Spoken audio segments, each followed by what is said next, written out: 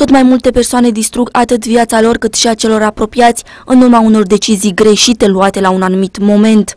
Astfel, polițiștii Serviciului de Investigații Criminale, compartimentul urmăriri, au depisat în Pitești un tânăr de doar 24 de ani din Merișani, urmărit la nivel național. Pe numele bărbatului, judecătoria Pitești a emis un mandat de arestare, acesta fiind condamnat la 3 ani și 6 luni de închisoare pentru furt calificat. Tânărul a fost încarcerat în penitenciarul Colibaș.